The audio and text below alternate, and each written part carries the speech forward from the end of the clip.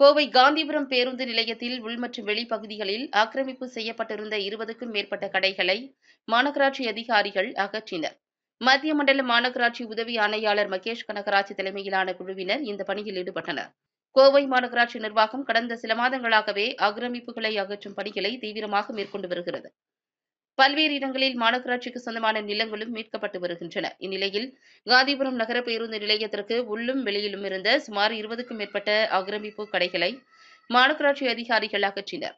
காந்திபுரம் நகர பேருந்து நிலையத்திற்கு உள்ளும் வெளியிலும் ஆக்கிரமிப்பு செய்யப்பட்டு நடத்தப்பட்டு வந்த டீ கடைகள் செல்போன் கடைகள் செருப்பு கடைகள் குளிர்பான கடைகள் என பல்வேறு கடைகளுக்கு மாநகராட்சி நிர்வாகம் தரப்பில் ஏற்கனவே நோட்டீஸ் அனுப்பப்பட்டிருந்தது.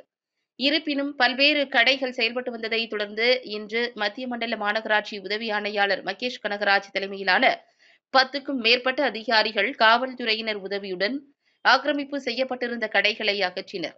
இதனால் கடையின் உரிமையாளர்கள் கடைகளில் வைக்கப்பட்டிருந்த பொருட்களை எடுத்து சென்றனர்.